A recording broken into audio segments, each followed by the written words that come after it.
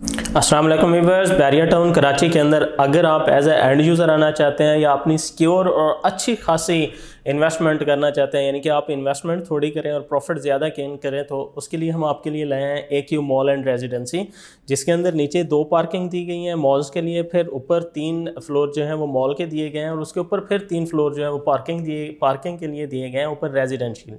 Residential के लिए। तीन ऊपर टावर्स दिए गए हैं, इनके अंदर डिफरेंट साइज़ के हमारे पास अपार्टमेंट्स मौजूद हैं, जो वन शार्ट पेमेंट के ऊपर हैं, काफ़ी रिजनेबल प्राइस के अंदर यहाँ पे मौजूद हैं। आपको छः हज़ार सात सौ, आठ सौ पर स्क्वायर फीट के हिसाब से यहाँ पे अपार्टमेंट मिल जाता है और पाँच लाख इसके साथ पार्किंग जमा करवानी है। अगर आप कुछ मंथ के लिए वेट कर लेते हैं तो अगर यहाँ पे आपके पास एक हज़ार रुपये पर स्क्वायर फीट के हिसाब से भी आप इंक्रीज़ करते हैं तो कम अज़ कम जो आप थ्री बेड लेते हैं ट्वेंटी ट्वेंटी स्क्वायर फीट का तो आपका कम अज़ कम बीस लाख रुपया इंक्रीज़ होने वाला है। यानी अगर आप चाहते हैं कि हम ऐसी इन्वेस्टमेंट करें